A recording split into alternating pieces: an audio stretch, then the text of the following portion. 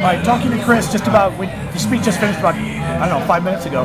What what do you think, Chris? I thought it was a great speech. Uh, I, the, the, big issue is he tough enough. I, I think that he uh, he really addressed that. He went after McCain very aggressively. I thought it was great. Uh, it was good fun to hear him uh, take on. You know, there's been a lot of worry in uh, recent weeks. Is he tough enough? Uh, I think he did. Uh, I think he did the job tonight. Good. All right. Thanks.